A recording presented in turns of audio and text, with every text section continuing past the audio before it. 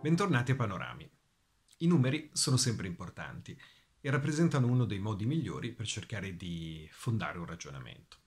E allora partiamo dai numeri, in particolare da quelli che il presidente di Assolombarda, Alessandro Spada, ha pronunciato nel corso dell'Assemblea Generale Annuale dell'Associazione Imprenditoriale della Lombardia, tenutasi all'Hangar di Linate. Con il 2% del territorio italiano, Assolombarda, le province su cui Assolombarda rappresenta la gran parte del mondo imprenditoriale, producono circa il 13% del PIL. Si tratta di numeri giganteschi, numeri davvero importanti, quelli che segnano per l'appunto la centralità dell'industria e dell'impresa manifatturiera del nord. Ebbene, da maggio a oggi queste imprese, insieme alle altre parti produttive dell'Italia, hanno agganciato il rimbalzo, qualcosa di non così prevedibile, soprattutto nei primi giorni successivi al lockdown.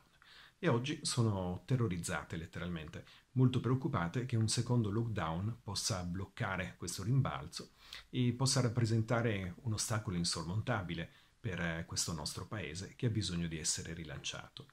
Si tratta di un problema interno e anche al tempo stesso di un problema di carattere generale, perché il, l'arresto della fase positiva, del tentativo di recupero, che ha portato a risultati non così diversi da quelli degli stessi mesi dell'anno scorso, ha a che fare anche con il rischio di un lockdown in altre parti del pianeta, perché l'Italia è un pezzo di una catena del valore globale e il terribile, maledettissimo Covid minaccia con la deglobalizzazione tutte le filiere generali internazionali che producono per l'appunto ricchezza. Questi sono i numeri del privato. E poi guardiamo i numeri pubblici, i numeri dello Stato. Il governo ha stanziato 3,4 miliardi dall'inizio dell'epidemia sostanzialmente attraverso una serie di scostamenti di bilancio, attraverso massicce destinazioni di risorse per la sanità. E i 20 sistemi regionali che caratterizzano la nostra frastagliata sanità pubblica hanno reagito in maniera naturalmente molto diversa ma complessivamente di queste risorse solamente un terzo sono state impegnate.